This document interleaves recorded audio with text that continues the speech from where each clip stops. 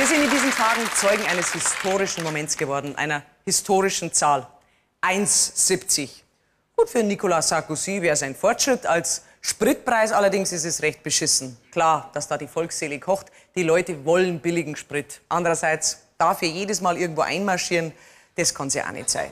Wir von Leute, Leute arbeiten an Alternativen. Allen voran unser Super-Plus-Reporter Lutz van der Horst. Hallo Monika, alle klagen über die hohen Benzinpreise. Deshalb bin ich umgestiegen. Nein, nicht auf Bus und Bahn. Auf ein PS. Ja.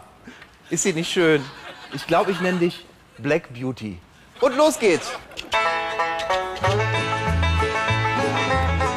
Darf ich in die Stadt einreiten oder brauche ich da die Feinstaubplakette 4 für? Äh, also ich kenne mich mit, äh, kann ich nicht beantworten. Ich kenne mich nur mit Autos aus und nicht mit Pferden. Ja. ja gut, normalerweise hätte ich das Auto auch genommen. Aber dafür bin ich um die Tageszeit einfach viel zu betrunken. Danke.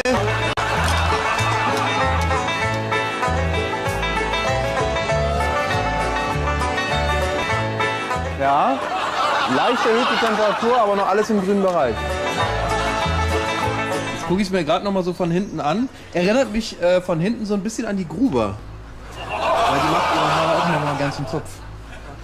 Wer ist Gruber? Monika Gruber? Kennen Sie Muss nicht? ich die kennen? Nee, die muss man nicht kennen. dann ist gut. Gut, vielen Dank. Bitte schön, Ja. gern geschehen. Wer ist Monika Gruber? Sie sind auch schlau, ne? Sie sind, haben auch kein Auto mehr, oder was? Ich habe ein Auto auf jeden Fall. Aber die Spritpreise sind ja so überhöht, da muss man sich schon mal Ich bin überlegen. gerade, äh, das fährt mir woanders hin. Aber war nett mit Ihnen zu reden.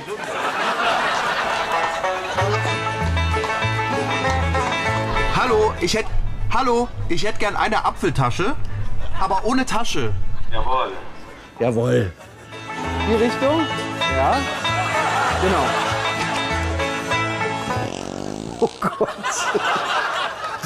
Also wer schon mal hinter einem furzenden Pferd gestanden hat, der weiß, dass sich die CO2-Bilanz so nicht verbessern lässt. Das kann ich schon mal sagen.